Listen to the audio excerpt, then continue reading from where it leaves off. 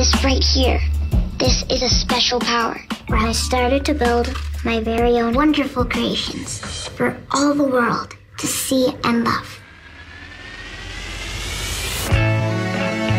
Joy is about what it means to believe in yourself. You are going to be a strong young woman, and you're going to build wonderful things. Godspeed, good luck, here we go. It was all about her spirit and wanting to break a new path. Joy's never run a business in her entire life. All the things that we used to dream about, I feel like they just keep getting farther and farther away.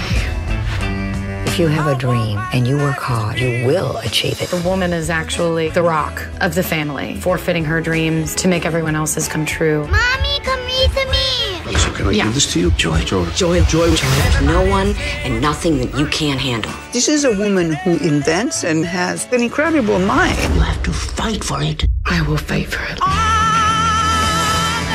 She eventually fulfills the potential that she always had inside of her.